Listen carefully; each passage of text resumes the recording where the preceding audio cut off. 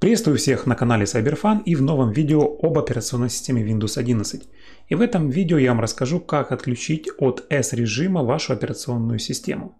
И почему вообще он включен в вашей системе. Обычно при покупке ноутбуков или компьютеров в магазинах она идет в этом S-режиме, который защищает ваш компьютер от установки любых приложений из интернета.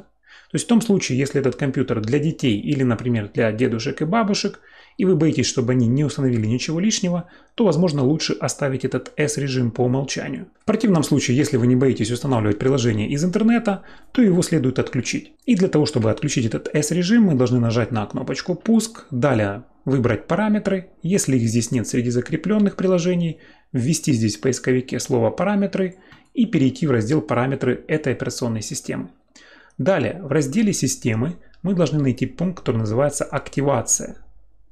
И в том случае, если у вас включен S-режим, вы увидите такую надпись Windows 11 Pro в S-режиме или Windows 11 Home в S-режиме.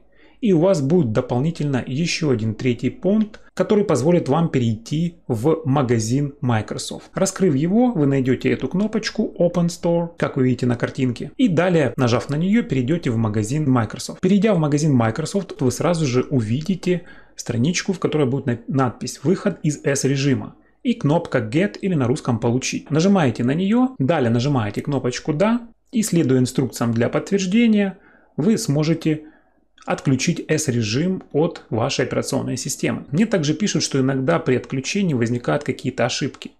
Эти ошибки связаны с работой самого магазина Microsoft. Для того, чтобы исправить эти ошибки, которые у вас возникают при отключении S-режима, нужно нам сбросить сам магазин Microsoft.